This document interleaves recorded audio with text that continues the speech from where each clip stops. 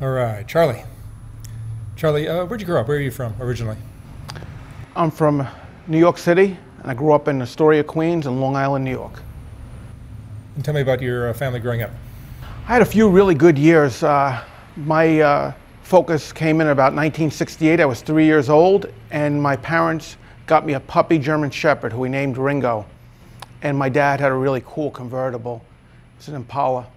And uh, we had some good times growing up in Queens, and we headed out to uh, Woodstock in 1969. Uh, we didn't have tickets, and my parents didn't intend on getting in, but they just wanted to be part of the atmosphere of the festival. And we picked up a really cool hitchhiker along the way. His name was Gary. And back then, hitchhikers uh, had his pots and pans hanging from his Daniel Boone type jacket, water bottles, and it was a really good time. My life took a sudden change after that. In 1969, my friend Kenny was the first reported death in New York City of a child overdosing on methadone. He had drank his uncle's methadone that was in the refrigerator, thinking it was juice, and his brain swelled and he went to sleep and never woke up. And after that, my life started to change. I started to realize the happy go lucky inside me felt as though you could get hurt in your own apartment building. My parents also changed, their relationship changed after that because we moved to Long Island. And my dad got a home out there, and happiness should have been the story, but it wasn't. My mother and father started really having volatile fights, and uh, there was drinking involved, and my dad would break up the house. And all of this really robbed me of kind of growing up and feeling the way I should have felt prior to Kenny overdosing and my family fights. So from there, things never got any nicer. Um, my father, who was a very violent man, I didn't know much about him, even though he was in my life.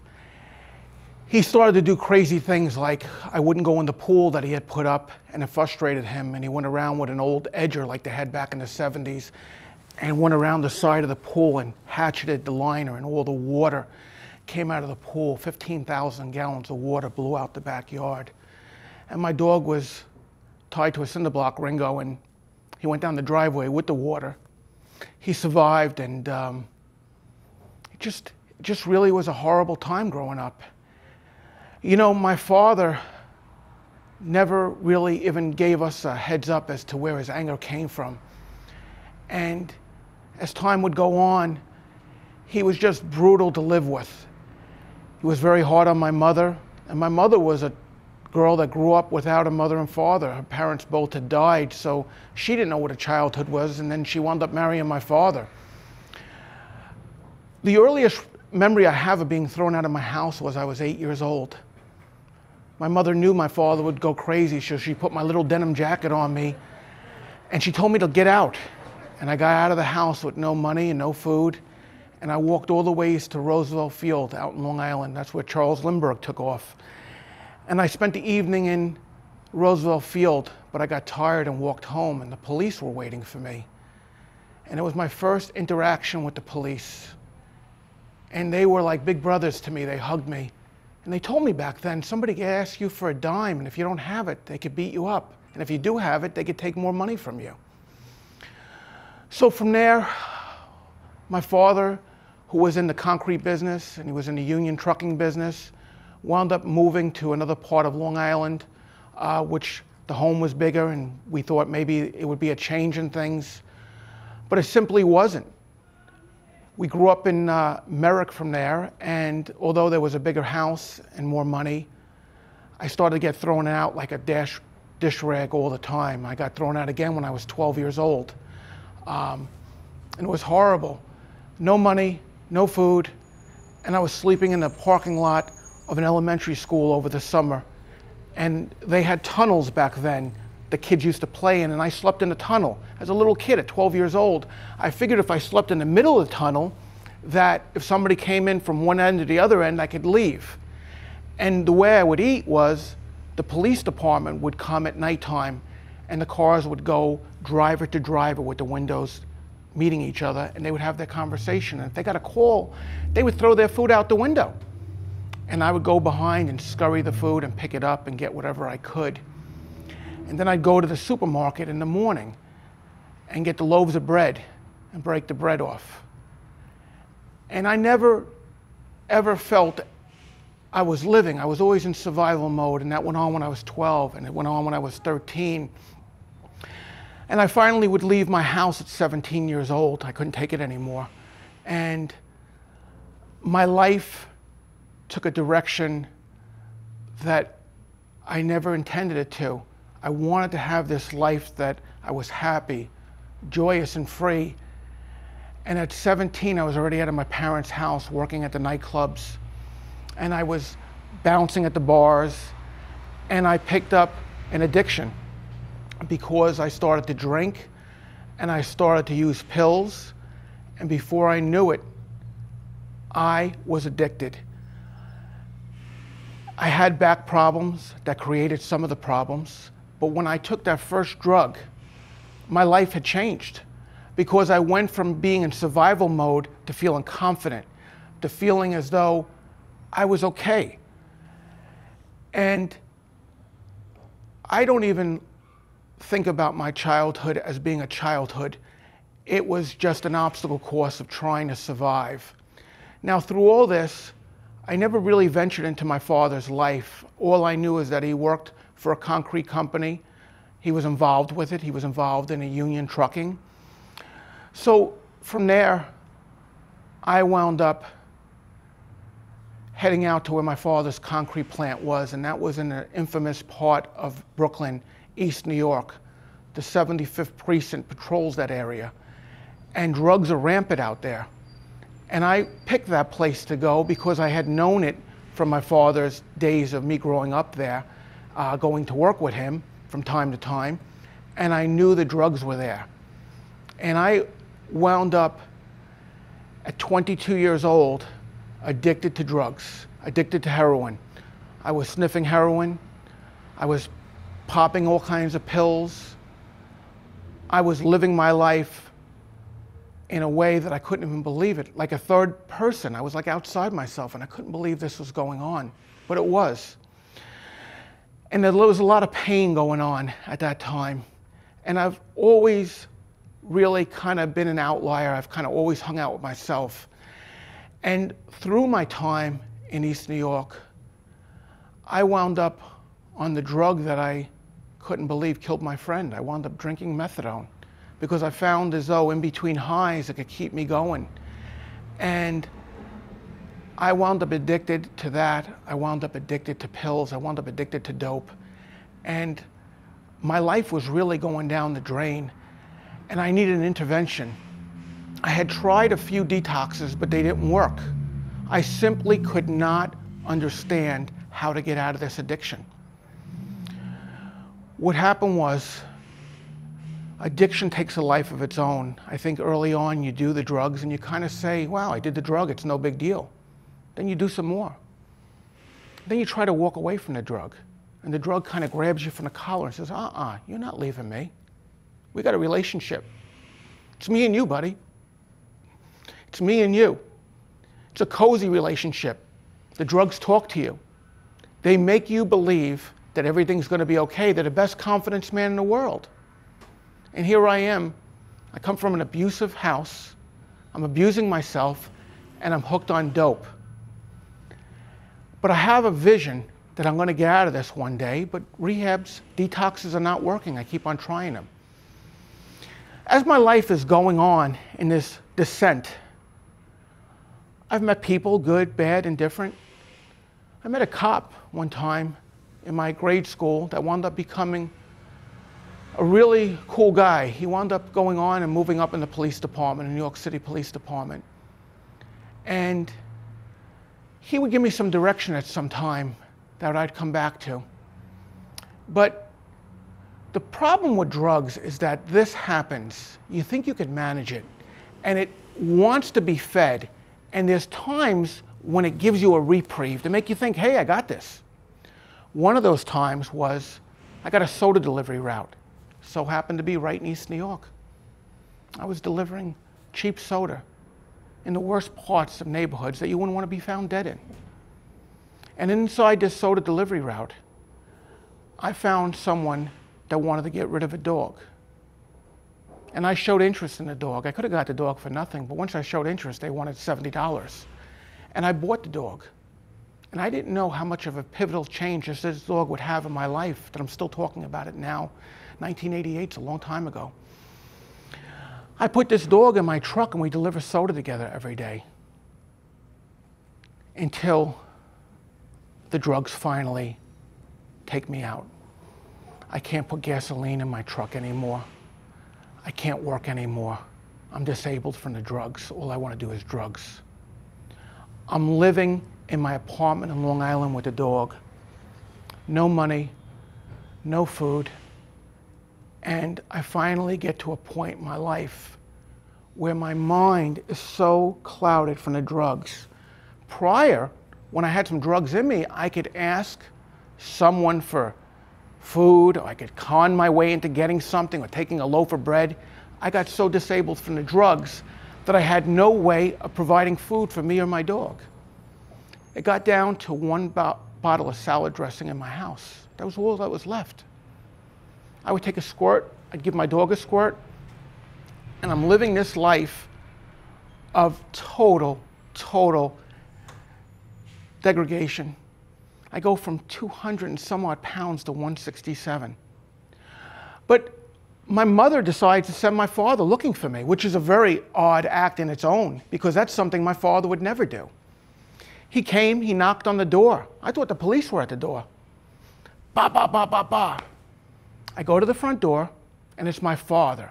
And my father was built like an MMA fighter, about 175 pounds, and this guy could fight. And he was in my face.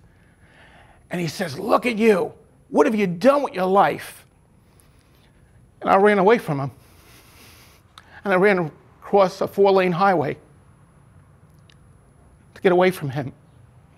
And my dog followed me. And my dog got hit by two cars. Boom!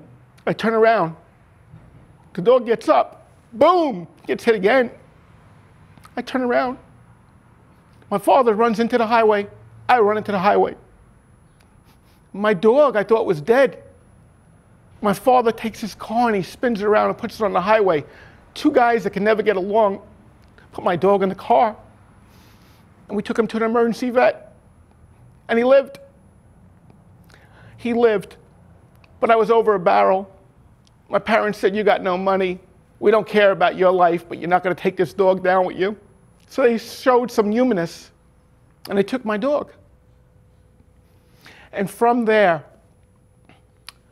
I had no place, nothing to do, and I got on the train just to kind of clear my head. And what was going to happen here was I was going to meet that cop that I met in high school. And he would see me on this Jamaica platform, and he'd look at me, and he knew I was killing myself with the drugs. And he gave me a look that I had to think to myself, this is not going good. But I still wanted to do drugs. I still wanted to go back to East New York. I still wanted to numb myself out with these drugs. And what happened was this peaceful looking guy named Michael, would be a turning point in my life. He would appear and he'd look at me and I'd look at him and I'd say to myself, boy, that's a really peaceful looking guy. And he'd come over to me and he'd introduce himself. And he told me that he was living in a refrigerator box in the Bronx, that he too was addicted. And he found a spiritual reprieve in a monastery in upstate New York called Graymoor. And I said to him, Do you usually tell people this? He says, No, but you look hurting. You look like you're really hurting. I said to him in a quick rundown of my life, I said, Detox is not working. Nothing's working. I said, Do I look bad? He says, You got tombstones in your eyes. I said, Will I live? He says, If you don't get this arrested, this addiction, you won't make it. But I still didn't take that and the cop that I knew from high school as enough. I got on the train and I rode the train to try to figure out what I was going to do with my life, that my dog is gone. My life is gone. I wasn't paying my rent in my apartment. I was being evicted. I had no transportation. I would decide to get off this train in the middle of the night and get off at East New York and start walking around. And I would be on a search for drugs, which was by itself insane. I come across a burnt out building, and there's men with a 50 gallon drum keeping warm and shooting up drugs. And what happened was I felt a push to go towards them, to ask them if I could use drugs with them. A chanting in me go ask if you could join them. Go ask if you could join them. Now, I hadn't shot up drugs. I was drinking methadone, popping pills, and sniffing dope. I had this desire to destroy myself, and I couldn't stop it. I had no willpower. But I thought about that guy, Michael, on the train station. I thought about his belief with the spiritual, and I believed because he believed. And I started chanting, God help me, God help me, God help me. All of a sudden, it gave me strength, it gave me power, it made the stop, forward motion stop. And I yelled out, God help me. And from there, the guys that were doing drugs by the 50 gallon drum, they look up. They were startled. And I turned around, and I'm not a runner. I ran as hard as I could, as long as I could, and I finally get to a fire station with the door open. The FDNY had a man, a fireman, he was doing something with the truck, and I run in and I said, I need help. He goes, What happened? Where's the emergency? I said, You're looking at it. It's me. He says, What's wrong? I said, I need water. I need water. I need to know that I'm okay. No, no, here's some water. I washed my face. I looked at my face in the, in, in the mirror. I couldn't believe what had happened to me. But I was awake. I was awake. I realized that I was awake and I did not want to continue this lifestyle. So I had no footwear. I had no footwear on my feet. Because prior to this, I was walking around those cheap flip flops, the kind you get from a hospital if you're, if you're being intake, or the kind that you get at a dollar store. I had no, if it was barefoot. He gave me some sneakers, he gave me a shirt. And I got some money to get to the Jamaica train station where I would call my father. And I called my father at six o'clock in the morning. And he answered the phone like he normally would. Hello? I said, Dad, I need help. Where are you? I said, I'm at the Jamaica train station. He says to me, What are you doing there? I said, I need a ride, Dad. He goes, It's Friday. I got to work today. Dad, can you give me a ride after work? I can. He says, Where you going? I said, I got to go up to Graymoor. He goes, Graymoor? I go, You know the place? He goes, Yeah, it's been around forever. He goes, That's for people that are at the end of their rope. I said, Well, I'm at the end of my rope. He says, I said, It's perfect. I need to be there.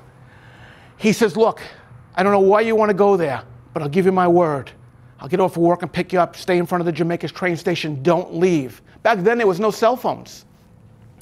So I stayed at the Jamaica train station. He didn't get there till about almost seven. And he picks me up. There was a different energy flowing between me and my father.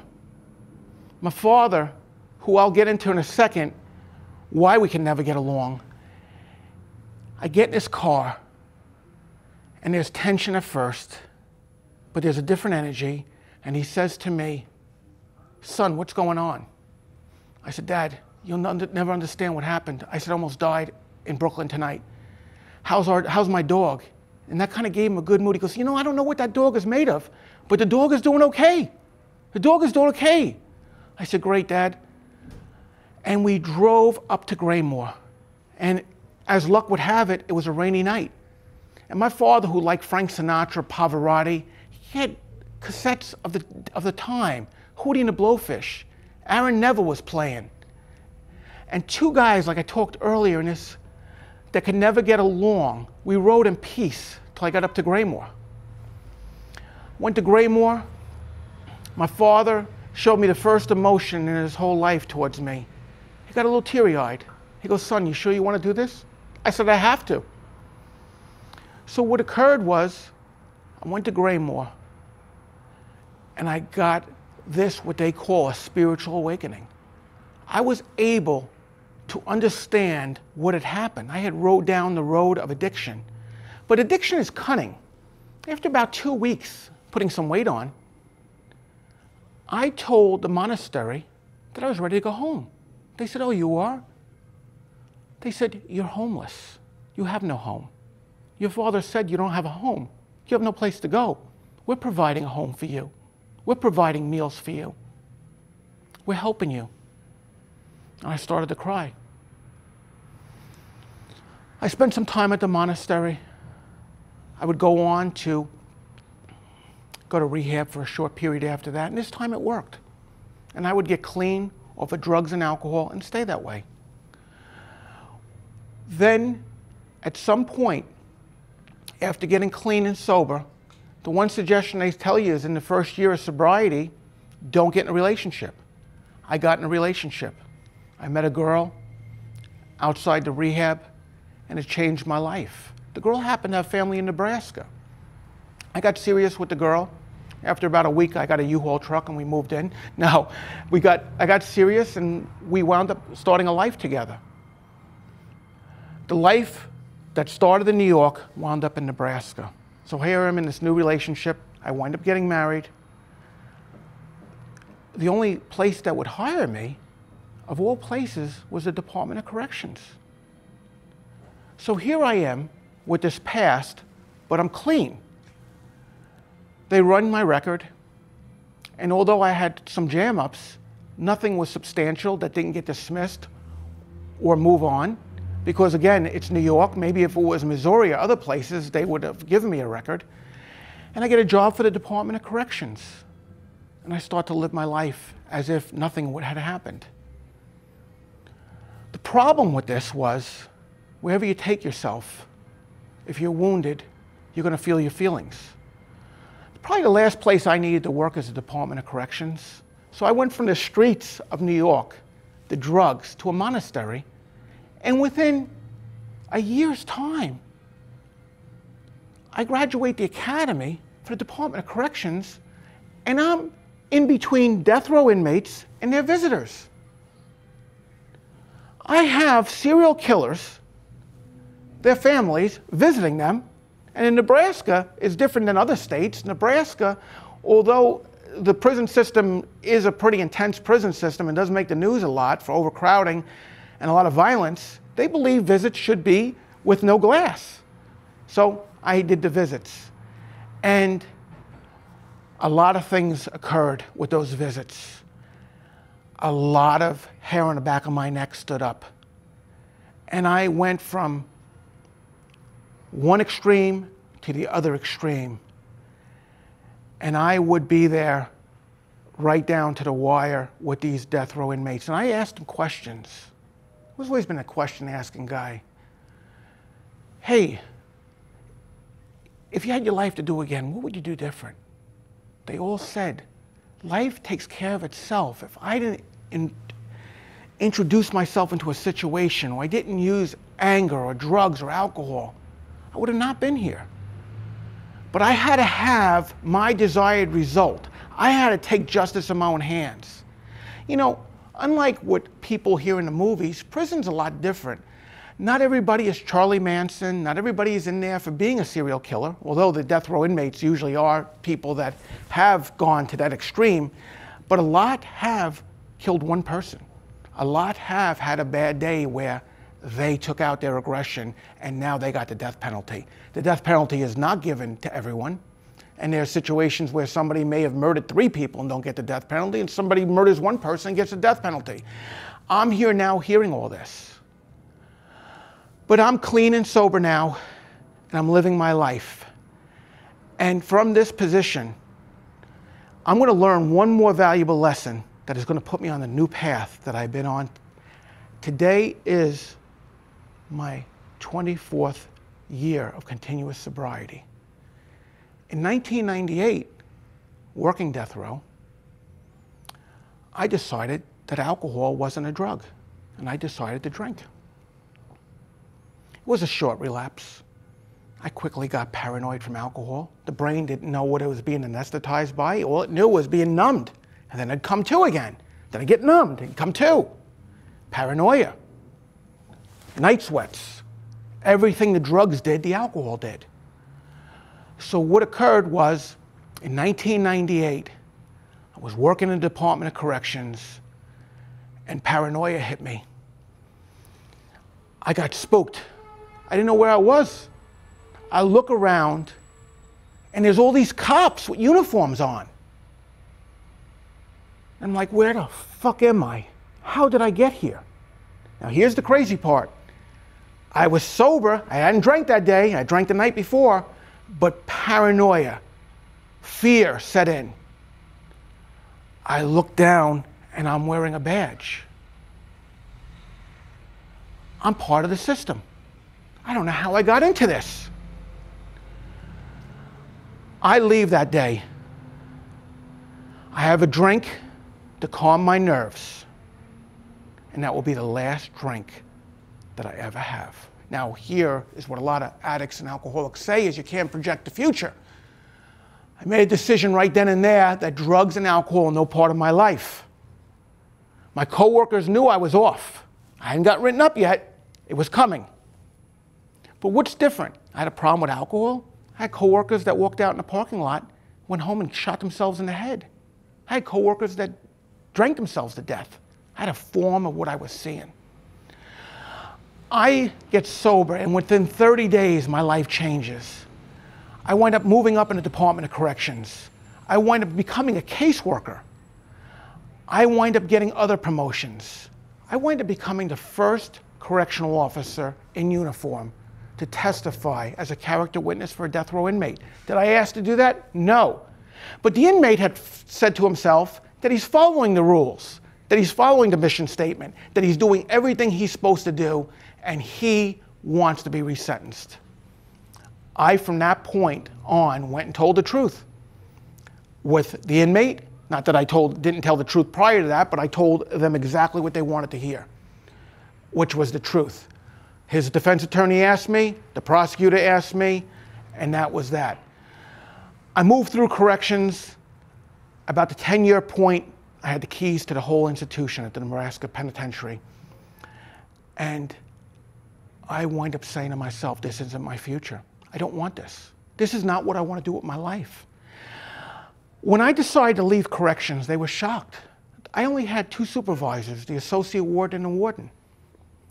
The warden and the associate warden were shocked that I was leaving because I had overcome so much.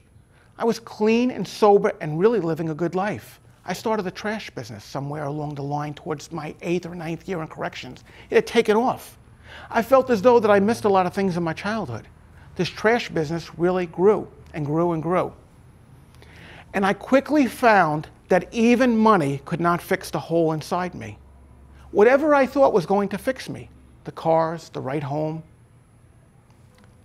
the girlfriend, it didn't. And I'm going to take you to a further point in my life. In 2012, I was at my desk in the trash business. And we've gone from 1988 through the 90s, through the new millennial. I left corrections. I turned in my notice the Wednesday after 9 11. That was the changing point in my life. I said, nope, I'm going to stick with my business, I'm going to stick with my goals. And I did it. On August 12th, August 13, 2012, I, I'm, I'm sitting at my desk in Nebraska and I look at the New York Daily News. And headlines will change my life. It'll give me the life that I have right today. It'll say, Pitbull shot and killed. Homeless man's Pitbull shot and killed. I didn't know why that headline meant so much to me. It would take years till I really knew what that meant. You see, I really cleaned myself up. I got myself fit. I really removed myself from any past of really hanging out in East New York, having the childhood I had, And I had moved past all that. I was a businessman now. I was sitting at my desk. But when that dog got shot, something in my stomach just flipped upside down. I couldn't handle it. I called in anybody I could in my office. I called the vice president of the company. I had them look at the video that the Daily News had put up. He said, Charlie, it's a sad story. The homeless man had a seizure. And they shot his dog because they wanted to offer help to the dog, and the dog was circling the man. I couldn't accept that. For some reason, here's what I believed in my life I believed, because I've always been in survival mode, if you put the drugs in my hand, as I put the money in your hand, we're square. If I deliver a dumpster, if my company delivers a dumpster, and you put a check or cash in my driver's hand, we're good. I had no faith. But for some reason that day, I had a tremendous amount of faith. And I believed that that dog had lived. And I called the city of New York. And I didn't lie. And I called them from my business line. And they saw that it was a recycling trash business. I called up and asked for the admin of the dog shelter that handled all of New York City's dog problems. And I got a lady, Renee, on the phone who said to me after we talked about recycling and trash, and I warmed her up a little bit, the dog is actually still alive. The dog will probably die, but the public can handle a dog that is dead rather than one that's lingering. And that's why they put that out. I had purpose for the first time in my life. For the first time in my life, I decided to put all my energy into something other than be in survival mode. Fear went away. I got to save this dog's life. I got to find this dog. Now, the story went global because the Daily News, the New York City police said, dog is dead, dog is dead. I started a Facebook page, Star of the New York Pit Bull. That was the only way I knew how to communicate with people. And I put my thoughts of this dog to the public. And it took a lightning speed change. The public rallied behind me. And this dog, the Daily News had to go from dog is dead to dog is making a lightning speed recovery. The dog is in Wikipedia, star of the dog. The dog is global. They everywhere put the dog, Nebraska man, this, that. So the city of New York kind of had a black eye that the dog was dead, then came back alive, and they stuck the dog in Philadelphia under an assumed name. And all this stuff occurred. And while this was going on, and I was building a big audience, I decided that there would be no other goal in my life but to find this dog and to give this dog a home. And I walked away from the trash business and I walked away from everything that had me connected that was about me surviving, about me paying bills, about this, about that. I was on a quest, and I didn't know it at the time, to reclaim my life and to get a childhood again. I had a California filmmaker say to me, Charlie, I've read all these headlines, man. You don't get it. The reason why you have done this is because that homeless man and that dog was you. That was you on the ground. That was you that nobody cared about. That was you that was addicted. That was you, you, you. And that dog, that was your dog that you couldn't give a good home with because the addiction robbed you of that. This dog would be different. I rescued that dog with all the fervor I had. They put the dog in Philadelphia, they gave her a new name, they did all this. I wind up eventually convincing the city of New York to make me the lawful owner of this dog. And I get this dog. And me and this dog do some really wonderful things for others. We get involved in the Alzheimer's Association. We do walks. We do cancer walks. We start a, a, a dog rescue and rescue dogs. And all this stuff comes about. And at some point in 2018, several years, I, the dog, I wound up giving a home to the dog in 2013. She was shot in 2012. I decided to write a book about this story.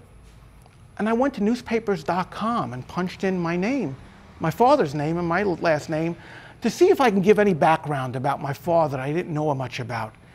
And to my complete, I wouldn't believe what I would see. I thought maybe, you know, this or that. My father is involved with a man that I believed was my godfather, Joseph Imbruglia, who was involved in a French connection, who the FBI is looking for in 1980 for a $100 million synthetic heroin ring, who in 1956 sticks up a cabaret with my dad. And the cops show up, a New York City police, and they put a gun in his stomach, and the gun misfires. That gun didn't misfire, I'd never be here. And my father goes away. And now the picture gets clear. He's a dangerous man. This guy never had bedside manner. He went away at 24 years old to Dannemora, Clinton, one of the worst prisons. This man that I didn't know had this crazy, crazy background. So I continue writing my book. And in 2018, which I was writing it, I go back up to Graymoor, 25 years after I had left with my dog Star. They said, You can come on the one stipulation. You must bring this miracle dog. We've read about her. And imagine going back to the place that saved my life with my dog. And not only did they want her there, they cherished her there. She ate off the same plates as we did. We talked to the board of directors, and I told them about my life since I had gone there. We had met the staff, we had met the residents, and I told them my story how I had overcome addiction and my new life. Well, I had this information about my father. And when I went to the monastery, they said to me that I had to forgive him. He didn't do the best he could, but he's a human. You've been forgiven. It took me a few days to compose myself when I got back in 2018. I knew I had to tell him. If it wasn't for him, I, got, I wouldn't have ever got up to that Graymoor in the first place, and he did answer my call. My mother was upset, and she text messaged me that he unexpectedly went to the hospital because of heat exhaustion. And they mistakenly gave him a deadly dose of fentanyl, and he died. So I spent a lot of time being angry at him. And then when I get the solution, he's now gone. He's gone. I got to continue my life. I go forward. I continue to go forward with my dog. I wind up meeting that police officer that many years earlier that looked at me at that train station. And I get friendly with him again and it becomes a source of strength. And 2019 happens, and 2020, as we know, with the pandemic. 2020, it's a blur, clean and sober. 2021 happens. And my dog gets sick. Star gets sick. And I bring it to the vet, and they don't think anything's major wrong with her, but she's got some edema. She's got some swelling. They don't know. They aspirate her lump. It's not cancer. Then they think it might be cancer. And she's laying down on the couch and won't get up. And I'm getting everybody telling me it's her time, it's time for her to go. Well, I don't want to make that decision, but it looks like I may have to. She gets off the couch. She gets off the couch like nothing happened. This dog that came back from the dead, that is now off the couch, what do I do with her? What do I do? I decide to take her back where her life started. She grew up on the streets of the lower, the, not the Lower East Side, the East Village. I bring her back to the East Village. People see her. Hey, Star, I know her. I see her on Facebook. We have a tremendous day because I'm around people. You know, the people that make me feel comfortable are the people that have something called time. Who has time in America? It's people that don't have a, an agenda. Homeless people. travelers. People that aren't bought into success quota like I thought, like I thought I was going to get happy, successful, get a home. I didn't even recognize the home I was in. It was sterile. That didn't make me happy. I went to the East Village. It made me happy with my dog. And we enjoyed that day. And we enjoyed going to Freedom Tower. And I got all these photos. I had a few, maybe it was a month of good life with her. And then on February 19th, 2021, with my fiance next to me, I said, you know what? I'm going to give Star a bath. I'm going to give her a bath. She's health is going back and forth, but she's doing okay today. And I pick her up to give her a bath, to bring her to the bathtub. And she takes in about three deep breaths. I put her down. and she's dead.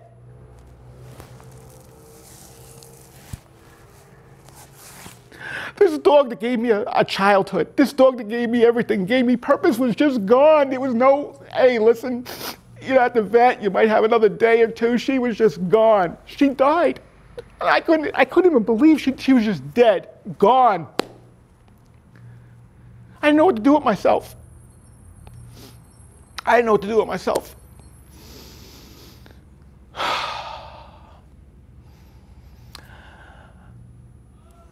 There is a place you could be in when you don't use drugs and alcohol. There's a place you could be in when you don't do behaviors that are destructive. There's a place you can be in when you don't decide to overeat anymore. It's called feeling. And I wasn't given a lot of emotional muscle from the factory. And now I was feeling like I never felt before, and I wanted the pain to stop. I could not believe this beautiful dog just left the planet. I couldn't believe it. So she was gone. And I asked my fiance, I said, please, take a picture of me with this dog. Take a picture. I didn't even have a chance to take one last picture. She goes, honey, she looks distorted from whatever happened to her, whether she had a heart attack or whether she had an aneurysm. I said, no, I'm going to the living room. I'm going to take a picture with my dog. And I took the dog probably 20 minutes after she passed away, and I sat on the couch. And air came out of her lungs, or something happened and a smile came to her face. And I got that picture. That's my picture. She might be a public dog, she might be known all over the world, but that is my dog. That is my dog. And I had been through all these situations in this life. I had been through taking the last cup of coffee from a death row inmate. I had been through situations with death row inmates telling me stuff that no human should ever hear. And we are the unsung heroes in law enforcement that, that work in corrections. There's stuff that happens to us, and we see stuff that no human soul should ever see. Because there's no privacy in prison. And I take this picture, and I decide that I don't know what to do. But I remember the filmmaker that told me that I was that homeless man in this story, and I was that, that dog was my dog. And although people always ask what happened to the homeless man. Him, like me, was almost exactly like a mirror. He decided to take care of his addiction to seizures. He couldn't handle the dog. So he signed the dog over to the city of New York.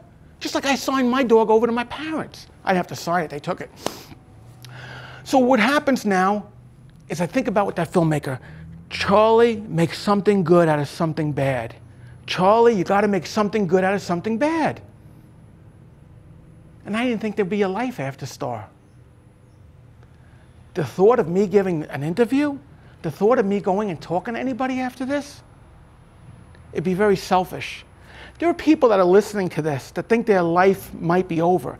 They think they've made the biggest mess of their lives and there's no hope. There is hope. There is hope. There is hope when we stop using. There is hope when we get in a solution. And for me, the ability that people take their time and listen and give me an opportunity to tell my story.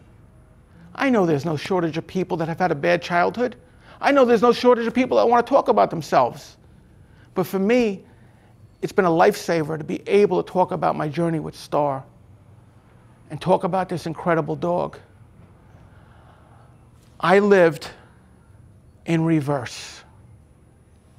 I should have grew up and matured and got emotional muscle and went on to have a life.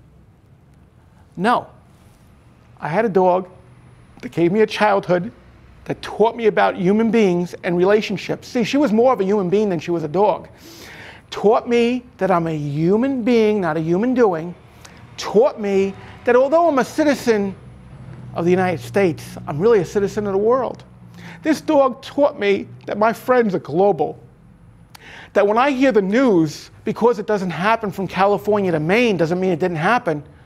I care all over. And somebody like myself, I can't harbor resentments. It's a death of me because I need sunlight. And I've been given a pass for a second chance. And I believe everybody deserves a second chance. Beautiful talk, Charlie. Thank you.